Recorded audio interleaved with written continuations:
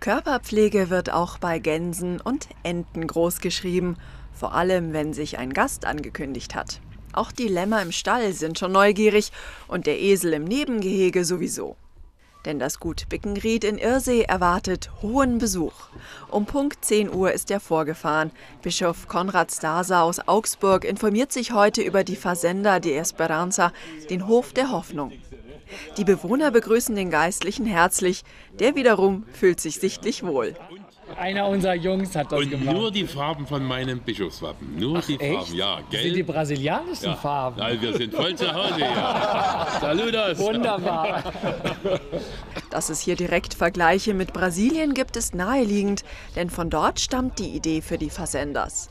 Entstanden in Brasilien vor 30 Jahren durch einen deutschen Franziskanermissionar, der ähm, in seiner Pfarrei einfach auch auf die zugegangen sind, die am Rand der Gesellschaft standen. Und ein Jugendlicher aus seiner Pfarrei ist dann auf eine Straßenecke mit Drogenabhängigen zugegangen. Und so ist das vor 30 Jahren entstanden. 94 Fazendas gibt es weltweit. In Deutschland sind es vier für Männer und zwei für Frauen. Die Fazenda in Irsee ist eine Wohn- und Lebensgemeinschaft für Männer. Deren Tag ist klar strukturiert. Wir stehen um 6 Uhr auf, 6.30 Uhr ist Frühstück, 7 Uhr machen wir Morgengebet oder feiern die Heilige Messe. Und dann von 8 bis 12 und von 1 bis um 5 wird gearbeitet in unterschiedlichen Bereichen. Wir haben keine Angestellten. Ja, das heißt also, es wird Wäsche gewaschen, wir kochen selber, wir pflegen die Tiere, wir sorgen uns um das ganze äh, Anwesen hier, bedienen die Gäste im Hofcafé oder nehmen andere Gäste auch auf und arbeiten für ein kirchliches Hilfswerk Kirche in Not.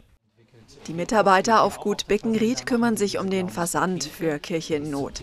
Die ehrenamtliche Arbeit ist eine Säule der Versendas, neben der Gemeinschaft und der Spiritualität. Mit Gottes Hilfe konzentrieren sich die Bewohner auf das Wesentliche. Ich habe immer gesprochen in vielen Versammlungen der Dekanate, dass ich mich sehne nach einer einfachen Kirche, habe aber immer sofort hinzugefügt, nicht simpel und nicht primitiv. So möchte ich das auch betont wissen. Die Einfachheit, die aus dem wirklich gelebten Glauben kommt und die das Leben aber erst auch richtig lebendig macht. Wo wir die Dinge, die uns umgeben, wahrnehmen, sie schätzen, mit ihnen umgehen und daraus wächst dann eine bleibende Freude. Im persönlichen Gespräch erfährt der Augsburger Bischof die Geschichten der einzelnen Bewohner.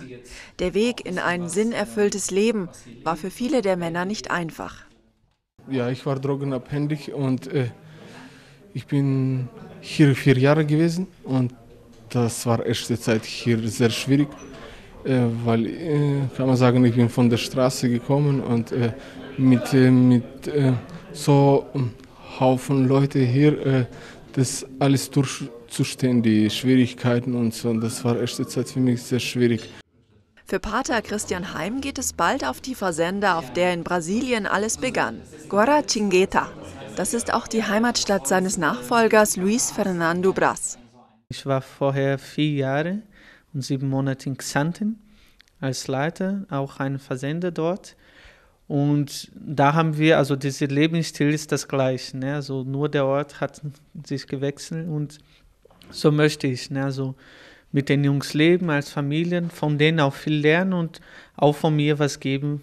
Den Sinn im Leben wiederfinden, ganz unabhängig von der eigenen Konfession, ist das auf Gut Bickenried möglich. Gib mir ein festes Herz, mach.